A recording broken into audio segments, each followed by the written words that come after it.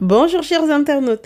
Aujourd'hui, je vous propose une recette pour cuire le canard, une recette de cuisine inratable, c'est le confit de canard.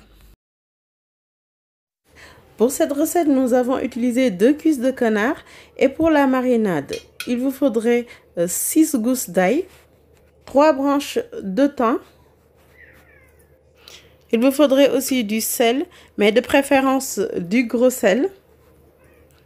Et enfin, j'ai utilisé deux lauriers pour la marinade. Pour démarrer, vous macérez les deux cuisses avec le sel, comme ça. Donc bien répartir sur tous les côtés. Ensuite, je mets l'ail. Je vais même le, le couper euh, en deux, chaque, comme ça.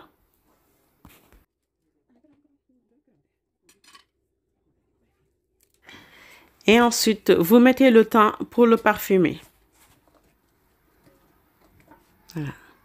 N'oubliez pas de rajouter les lauriers. Et enfin, on va bien le filmer. Donc, vous le couvrez bien sur tous les côtés de manière très très étanche. On va ensuite le réserver au frigo pendant 24 heures chrono. C'est parti. Top pour le compte à rebours. Les 24 heures se sont écoulées. Le canard a bien dormi au frigo. Maintenant, on va le défilmer. Nous allons ensuite le rincer à l'eau pour enlever l'excédent de sel. Là.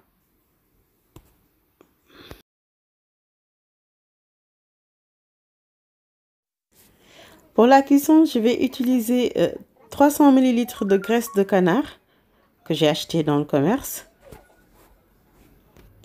Je rajoute ensuite 250 ml d'eau. C'est pour éviter que pendant la cuisson, en fait, les cuisses viennent se coller au fond.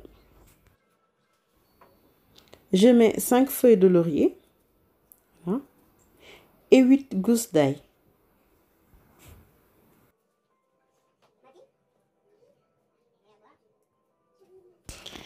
Je rajoute ensuite deux branches de thym que je répartis comme ça. Et en option, si vous aimez le piquant, je mets une cuillerée à café de poivre. Vous laissez cuire ensuite pendant 2h15 à feu doux. N'oubliez pas de le retourner 15 minutes avant pour cuire la partie chair. Et après les 2h15, voici le canard bien cuit, bien fondante que vous pouvez conserver dans la graisse, euh, dans la partie euh, congélateur pendant 6 à 9 mois et au frigo euh, pendant 5 jours. Aujourd'hui, j'ai préféré l'accompagner avec de la chanterelle, des champignons de Paris cuits dans la graisse, des pommes de terre sautées avec rissolet de pommes et légumes campagnards. Si vous avez aimé cette vidéo, n'hésitez pas à vous abonner à la chaîne, à cliquer sur la petite cloche pour recevoir euh, les, autres, alertes pour les autres vidéos. N'hésitez pas aussi à liker et à partager les vidéos. À bientôt pour d'autres recettes.